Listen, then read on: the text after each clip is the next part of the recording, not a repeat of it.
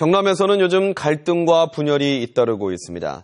경상남도와 도교육청, 경남과 부산시, 수도권과 비수도권 갈등까지 광범위한 갈등이 위험 수위에까지 올랐습니다.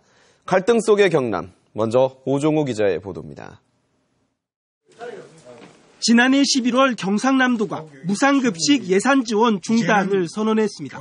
원칙대로 도교육청 예산으로만 어, 집행하는 것이 맞다는 것이 어, 제 생각이고. 갈등은 석 달째 이어지며 경남도정과 교육행정력은 소모되고 있습니다. 홍 지사의 막말 진실 공방과 교육장 3명에 대한 고발 사태, 시군에서는 기초의원 폭력 사태, 주민투표 운동으로 확전됐습니다. 도민 입장에서 이 정책을 이어가게 하기 위해서는 그 주민투표법에 근거해서 도민들의 의사를 직접 물어서 판단을 해야 되겠다 싶어서 창원시에서는 야구장 위치 문제로 시의원이 시장에게 계란을 던졌습니다. 극한 갈등은 봉합되지 않았고 마산 창원 진해로 재분리하자는 주장도 나왔습니다. 창원시의 광역시 승격운동은 경상남도와 새로운 갈등을 빚고 있습니다.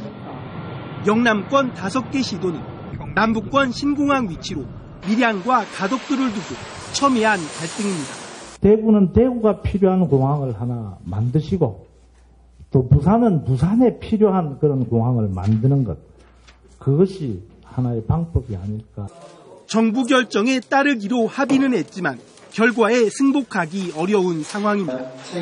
경남과 충북 사이에는 황금알을 낳는 사업, 항공정비 MRO 단지와 복합 관광단지 지정을 두고 갈등입니다. 정부의 수도권 규제 완화 추진은 전국적으로 수도권과 비수도권 사이 갈등으로 커지고 있습니다.